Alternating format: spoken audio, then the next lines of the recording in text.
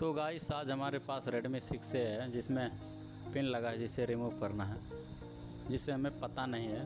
तो इसी को रिमूव करेंगे वीडियो के लास्ट तक बने रहें। और जो भाई लोग हमारे चैनल पर नए हो चैनल को सब्सक्राइब कर दें। ये हमारा एम आई सिक्स है सिक्स ए तो सबसे पहले हम फ़ोन को ऑफ़ कर लेते हैं।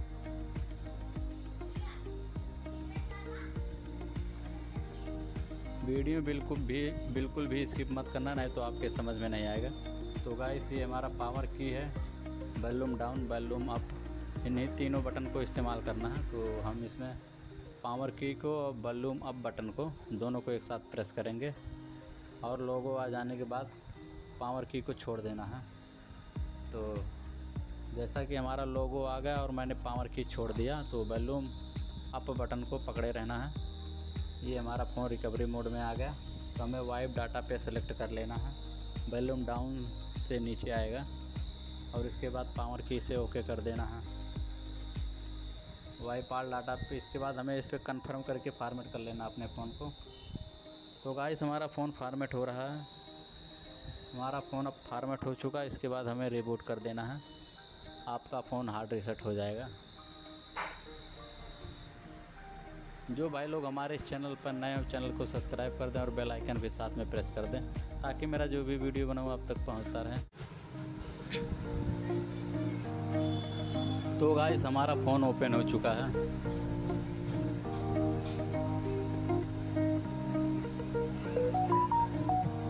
तो हमें अपने फ़ोन को केवल नेक्स्ट करते चले जाना है। अगर आपके फ़ोन में गूगल अकाउंट मांग रहा है तो उसके लिए मेरा एक नया वीडियो अलग से है तो आप उसको जाकर देख सकते हैं। तो फ़िलहाल इसमें हम नेक्स्ट करते चले जाना है। सबसे पहले इसमें अपने देश का नाम चुन लेना है कंट्री का। तो इसके बाद हमें नेक्स्ट कर देना है। आपका फ़ोन ओपन हो जाएगा। और जो भाई लोग हमारे चैनल पर नए हो चैनल को सब्सक्राइब कर दें और बेल आइकन भी प्रेस कर दें साथ में। ताकि मेरा जो भी वीडियो बनाऊँ टेक्निकल आपके पास पहुँचता रहे नोटिफिकेशन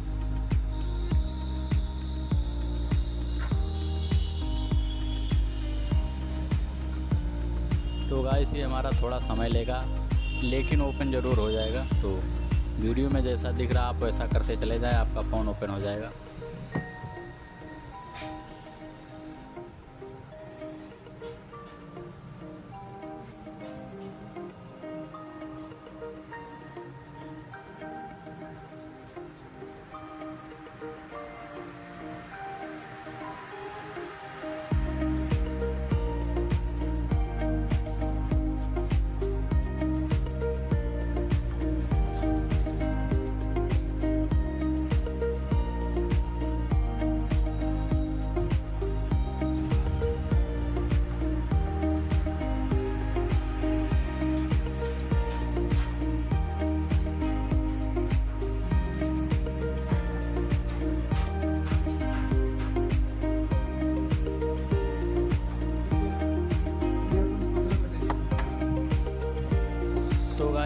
फ़ोन ओपन हो चुका है फाइनली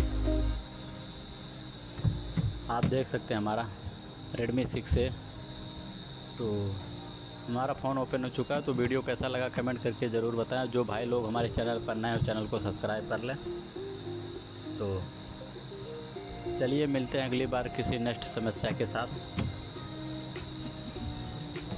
तब तक के लिए धन्यवाद।